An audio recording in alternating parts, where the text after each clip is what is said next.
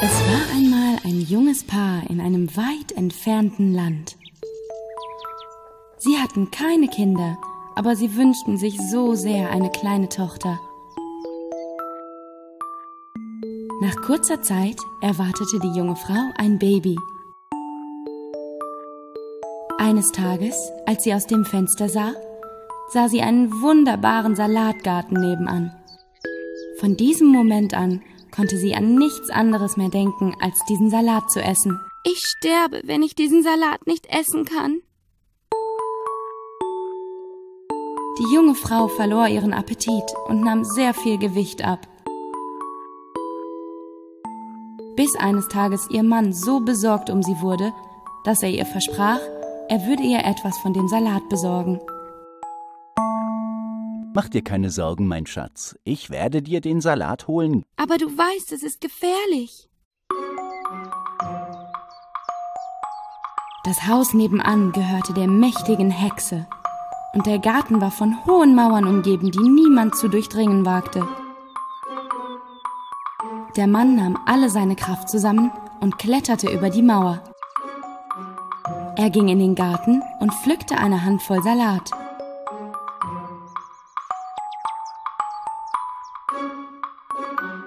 Seine Frau aß den Salat voll Genuss und fühlte sich schnell etwas besser. Aber leider war eine Handvoll nicht genug für sie. Am folgenden Tag ging der Mann wieder zum Garten zurück. Aber dieses Mal erwartete ihn die Hexe schon. Wie kannst du es wagen, in meinen Garten einzudringen und meinen Salat zu stehlen? Meine Frau ist schwanger und schmachtet nach ihrem Salat. Du hättest mich einfach um Erlaubnis bitten können. Wir haben alle Angst vor Ihnen. Ich dachte nicht, dass Sie es erlauben würden. Vergeben Sie mir. Dir vergeben? Ich werde dich bestrafen. Wenn meine Frau den Salat nicht essen kann, wird sie krank und kann unser Baby nicht gebären. Bitte. Hm. Wie wäre es mit einem Deal? Du nimmst so viel Salat, wie du willst, unter einer Bedingung. Sobald dein Baby geboren ist, gibst du es mir. Voller Angst nahm der Mann den Handel an.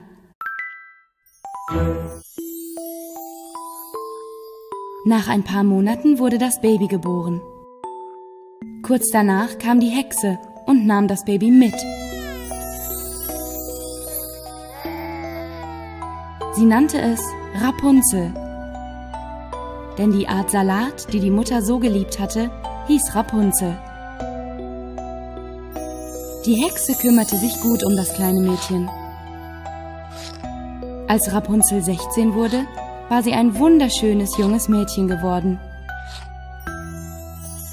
Die Hexe schloss sie in einen großen Turm mitten im Wald. Aber der Turm hatte keine Treppe und nur ein kleines Fenster im obersten Stock. Die Hexe hatte niemals das wunderschöne, lange blonde Haar des Mädchens geschnitten. Wenn sie sie besuchen ging, rief sie ihr von unten zu Rapunzel! Rapunzel! Lass dein güldenes Haar hernieder. Ich bin's, dein Mutterherz. Rapunzel ließ ihren langen, güldenen, geflochtenen Zopf herab durch das Fenster, und die Hexe kletterte an ihrem Haar hinauf in den Turm. Dies ging so für viele Jahre. Eines Tages kam ein Prinz in den Wald, um zu jagen. Er hörte eine wunderschöne Stimme, die tief im Wald sang.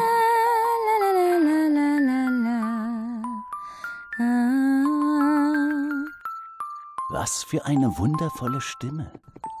dachte er und ritt mit seinem Pferd in Richtung der Stimme. Als er an dem Turm ankam, in dem Rapunzel wohnte, sah er sich nach rechts um und dann nach links. Aber er sah keine Treppe, um in den Turm hinaufzusteigen.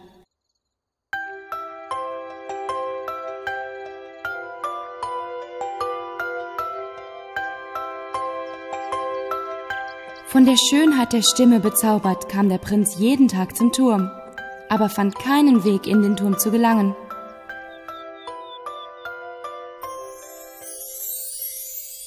Eines Nachts, als er sich mal wieder dem Turm näherte, sah er die Hexe, die unten vor dem Turm wartete. Rapunzel! Rapunzel! Lass dein güldenes Haar hernieder. Dein Mutterherz. Rapunzel ließ ihren langen, güldenen, geflochtenen Zopf herab und die Hexe kletterte an Rapunzels Haar hinauf in den Turm.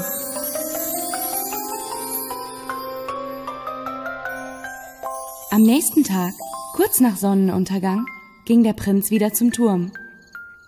Er verstellte seine Stimme. Rapunzel, Rapunzel, lass dein goldenes Haar hernieder. Ich bin's, dein Mutterherz.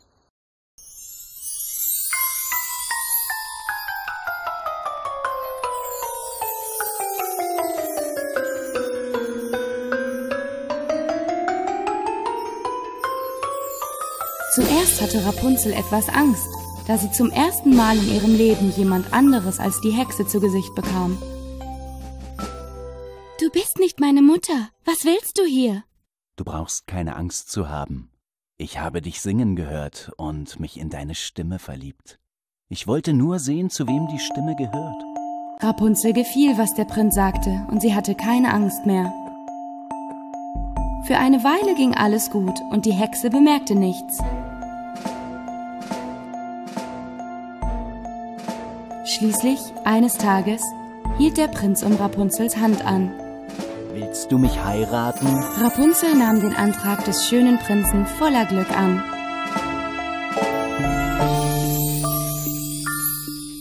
Aber Rapunzel konnte nicht aus ihrem Turm herausklettern.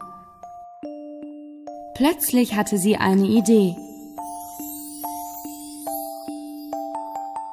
Der Prinz brachte ihr ein Stück Stoff mit, jedes Mal, wenn er sie besuchen kam. Rapunzel band die Stücke zusammen, um ein Seil zu knüpfen. Aber eines Tages machte Rapunzel einen großen Fehler und verriet sich aus Versehen. Mutter, mein Prinz klettert schneller als du. Welcher Prinz? Äh, ähm. Welcher Prinz? In diesem Moment erkannte die Hexe, dass etwas vor sich ging, und sie begann Rapunzel anzuschreien. Wie konntest du mich hintergehen? Ich wollte dich doch nur vor dem Bösen dieser Welt beschützen.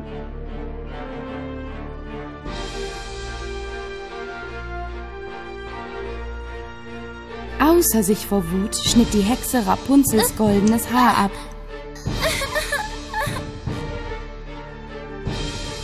und verbannte sie in eine weit entfernte Wüste.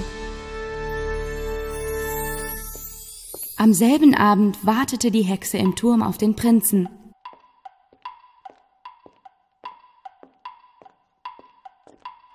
Rapunzel, Rapunzel, lass dein Haar hernieder.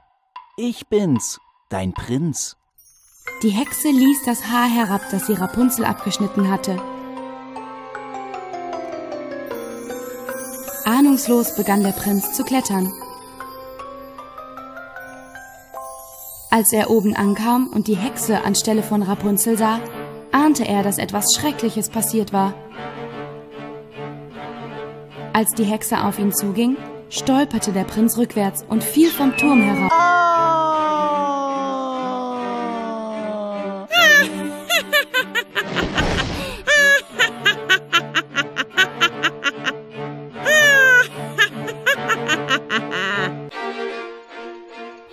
Der Büsche am Boden überlebte er den Fall. Aber die Dornen stachen in seine Augen und er konnte nichts mehr sehen.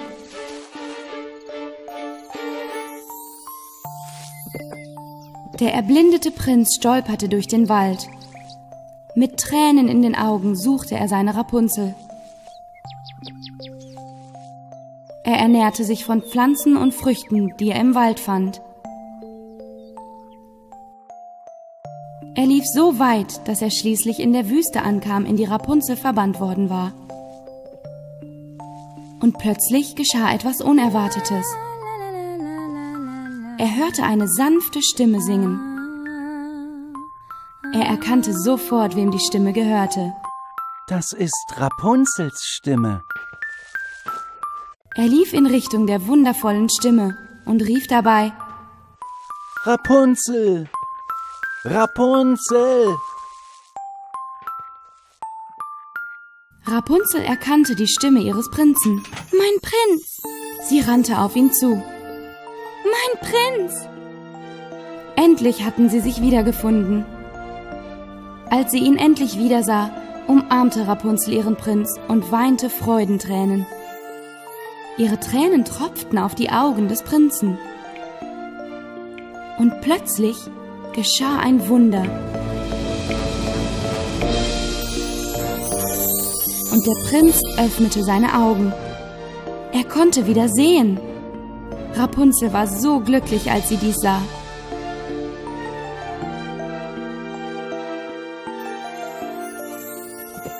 Zusammen reisten sie zum Königreich des Prinzen, wo die Menschen sie voller Freude empfingen.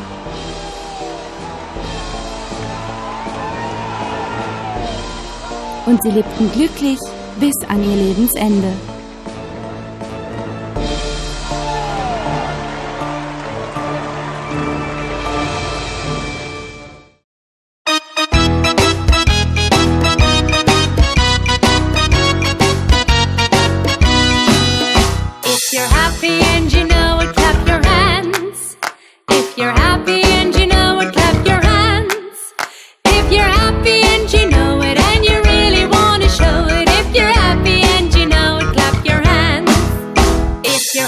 and you know it, stomp your feet.